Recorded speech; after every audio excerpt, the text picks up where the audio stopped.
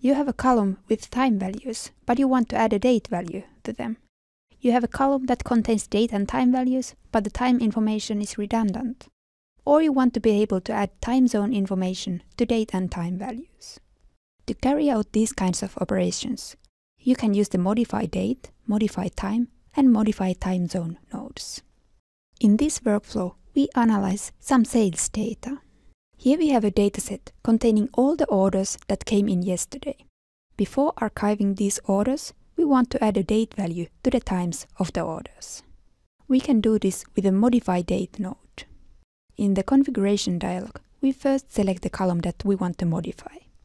Next, here below, we choose whether we want to append a new column with the modified values or replace the existing one. In the date selection section, we define how to modify the date values. We have a column with only time values, so we can only select this append date option that appends the date value written in this field here to the time values in the column. If we had a column with date and time values, we could select change date and replace all date values with the date value in this field. If we had a column with date and time values and we wanted to remove the dates, we would do this by selecting this Remove Date option. When we check the output table of the Modify Date node, we can see that the date has been added to the times of the orders. Next, let's change the time zone for the orders that come from the US. We can do this with the Modify Time Zone node.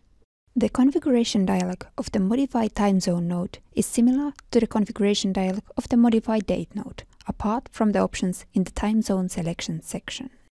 We could add a time zone to date and time values by first selecting this Set Time Zone option, and then selecting the time zone in the menu. In our case here, we want to shift the existing time zone, so we select the Shift Time Zone option and then US Pacific in the menu. If we wanted to remove the existing time zone from the date and time values, we would select this Remove Time Zone option. When we check the output table, we see that the time zone has been changed for the orders coming from the US. Here we have some sales data, and the dates of the orders are reported with zeros as time values. Our task is to remove the redundant time values from the dates. We can do this with the Modify Time node. The configuration dialog of the Modify Time node is similar to the configuration dialog of the Modify Date node, apart from the options in the Time selection section. If we had a column with only date values, we could select this Append Time option to add the time value written in this field to all date values. If we had a column with date and time values, we could select this Change Time option to replace the time values with the time value written in this field.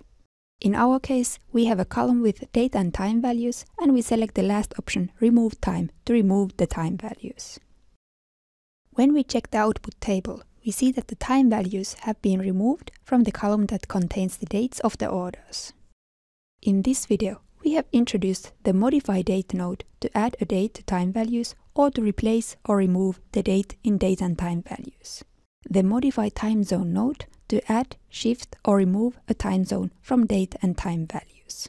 The Modify Time node to add a time to date values or to replace or remove the time in date and time values.